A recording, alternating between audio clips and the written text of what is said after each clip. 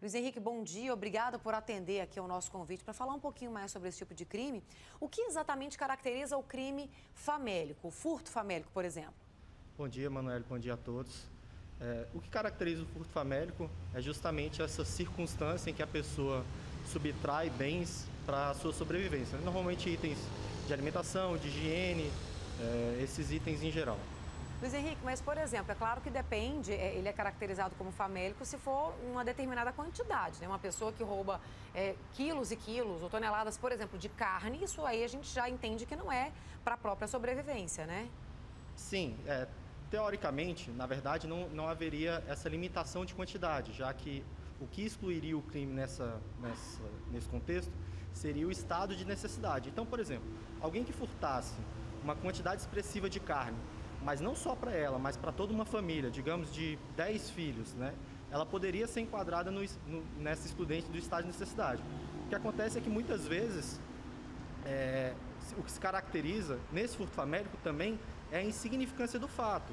Né? O que foi subtraído é, é de um valor tão ínfimo que não vale a pena o Estado se movimentar para apuração desse fato. E é isso que eu queria saber. O que, que diferencia o crime famélico no que diz respeito à punição né, dos outros crimes? O que diferencia ele é justamente porque, é, para o direito, né, nem toda, toda ação que configura o fato previsto em lei, ela deve ser punida. O, o, direito penal é um direito subsidiário. Ele deve se limitar àqueles fatos mais graves, aquelas ofensas mais efetivas aos bens jurídicos protegidos. Então, justamente por muitas vezes esses fatos não caracterizarem uma lesão relevante para o direito, é que eles não devem ser punidos. Mas aí não há uma pena, então, para essa pessoa? Eu, eu, insisto nisso, Luiz Henrique, desculpa a, a, insistência nisso, porque é claro que se tiver gente assistindo e falar, ah, não, então vou poder ir lá no açougue comprar, roubar, furtar, né? Carne, furtar é, é, macarrão, arroz, porque tem aquela pessoa de naturalmente, a pessoa que furta, mesmo que seja por uma necessidade, ela já não está agindo de boa fé. Ela podia muito bem chegar e pedir, né? Uma caridade, enfim. Mas às vezes a pessoa pensa, ah, ninguém vai me dar, ou já pediu e ninguém deu. E aí, num desespero, eu como mãe, eu entendo. Você nunca quer ver um filho passar fome. Claro que não está certo, né, gente? É um crime, não deixa de ser. E aí, às vezes, a pessoa leva para poder não passar, o filho não passar fome, enfim. Mas é, é, não, não há uma pena, então, quando caracteriza de, de fato o, o crime famélico? Sim, é importante que se esclareça que não existe uma figura legal tá. denominada furto famélico. Né? Nós temos a previsão no Código Penal do crime de furto, que é quando alguém subtrai algo de alguém. Sim. Então, quando essa circunstância acontece, né, esse fato, a princípio, ele caracteriza um crime. E essa pessoa, provavelmente se presa, por exemplo, em flagrante, ela vai ser encaminhada para uma audiência de custódia, ou, né, se não for esse o caso, durante uma investigação, esse fato vai ser apurado.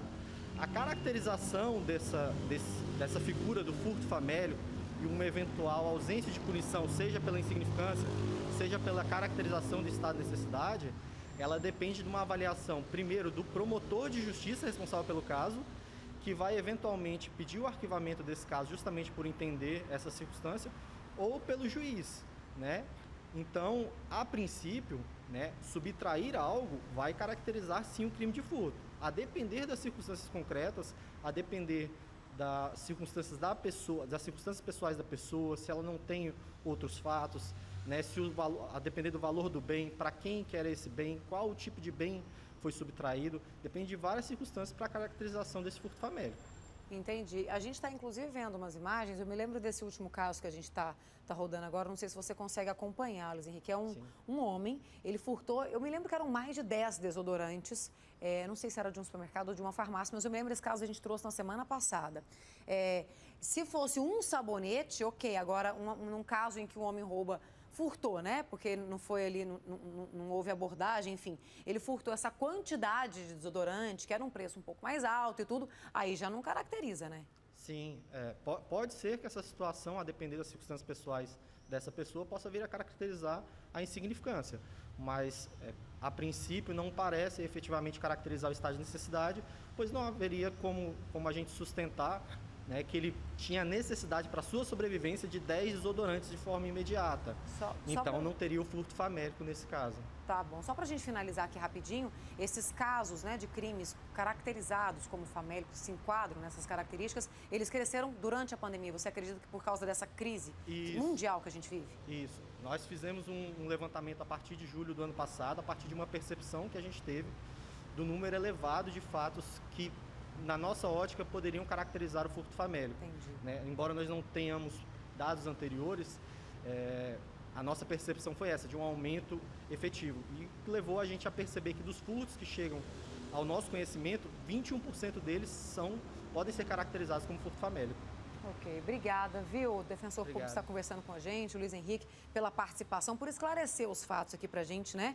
É claro que é, é, há, há, toda aquela análise da situação, da condição da família, o que ele acabou de, de reforçar. E, e aí isso não abre brecha para que as pessoas saiam por aí furtando comida e achando que não, não vai dar nada, porque vai caracterizar num crime como esse. Tem toda uma análise que é feita. Obrigada, viu? Boa semana aí para o senhor.